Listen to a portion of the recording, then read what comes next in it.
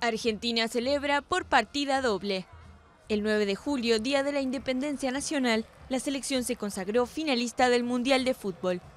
La infartante definición por penales ante Holanda prolongó hasta el último minuto la angustia de los bonaerenses que se congregaron en plazas y parques para ver el partido a distancia.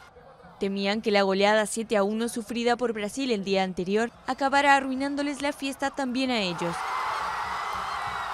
pero hoy los argentinos están de fiesta y algunos incluso han descubierto nuevos héroes dentro de su equipo. Verdaderamente no pensé que íbamos a ganar por penales, pero bueno, demostró, quedó demostrado que el arquero que tenemos sirve y mucho más de lo que yo pensaba.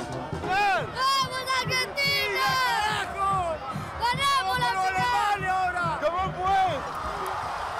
Los más ancianos ya festejaron dos conquistas con su país, el Mundial de Argentina en el 78 y el de México en el 86. Otros quieren vivir a pleno una nueva victoria albiceleste.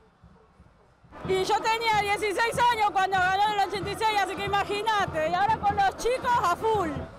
El partido contra los germanos en el Maracaná tendrá un aire especial. La última vez que Argentina jugó una final del Mundial fue en 1990, cuando cayó justamente ante Alemania.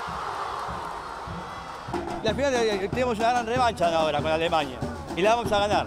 El partido ante Holanda fue tan emocionante que hubo hasta quien imploró que el Papa Francisco, reconocido futbolero argentino, hiciera lo suyo. Con o sin intervención divina, Argentina llega a la final decidida a buscar su tercer título y a que la copa que se juega en Sudamérica se quede en Sudamérica.